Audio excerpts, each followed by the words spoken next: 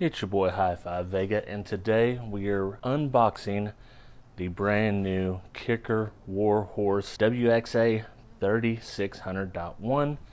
So I have purposely not unboxed this thing since I've had it. I've had it for a few weeks now, and uh, I have peeked at it, but I have not taken it out and actually held it in my hand. So without further ado, let's open it up and see what this new beast looks like.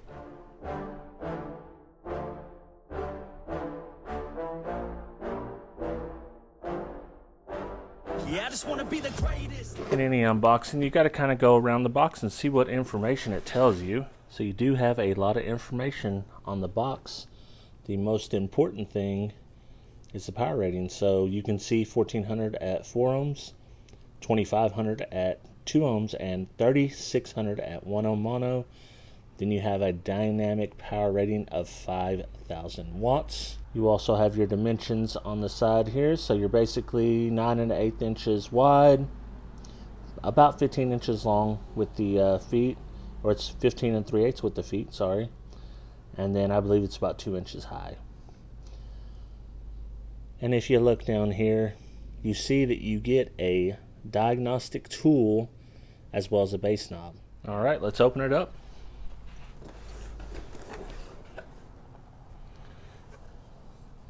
So you can see right away, you get the birth certificate. Love this. This is old school, but I definitely love it. 4,500 watts. Well, 4,600 watts, 4,594 watts. Passed all the certification numbers. Got the serial number there. Very nice. On this side, we have got the Warhorse on here. You've got a voltage readout, then you've got a few other buttons. We'll have to get into the manual and see exactly what it does. But it comes with the cable. So you'll need to run this cable for it. We have another and this side is for the bass knob. The bass knob also has the Warhorse branding on the side.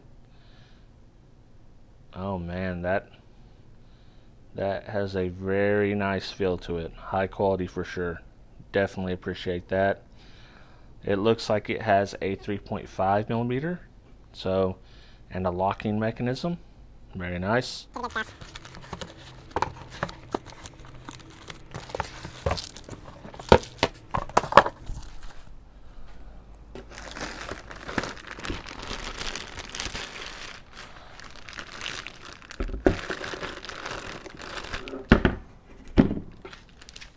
All right, there it is. This thing is an absolute piece of metal here. Wow, I really, really love the design of this. I love the logo here, the Warhorse. I love the font. Of course, kicker up on this end. Then you have another engraved portion that says the model number. Let's kind of flip it on its side here. You can see we have double power, double ground, one aught, and then you have two areas for remote. I'll have to check the manual, but I think one is probably remote in, one might be remote out.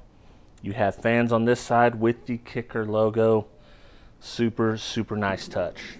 On this end, you have pretty much the same fan and kicker covers here. You have your speaker terminals. It looks like they will accept for a gauge. Uh, the manual should probably tell. You have your remote bass knob here with the lock. You have your diagnostic port here. Then you have your subsonic filter, your DC turn on, low pass frequency gain, input level, and competition mode. We'll get more into that in another video. And then you have your input and output RCAs.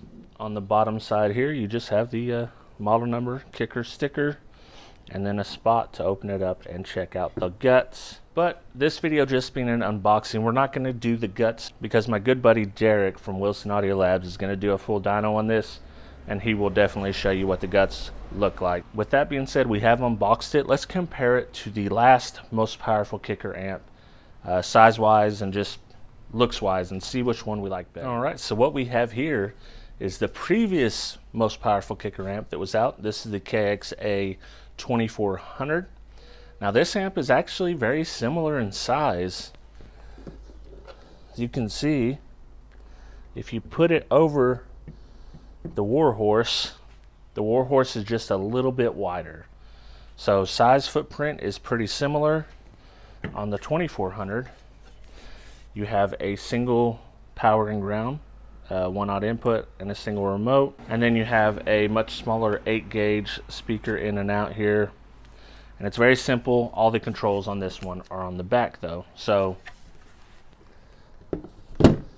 comparing the two, you get 2400 watts out of this amp, you get 3500 watts out of this amp.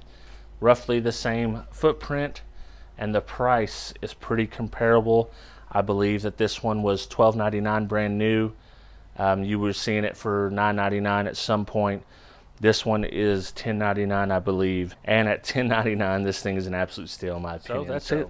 The Warhorse has been unboxed. This is a very cool amp. You're going to see more videos with this amp from me, but I wanted to get an unboxing video out there so you guys can kind of get a first look at it.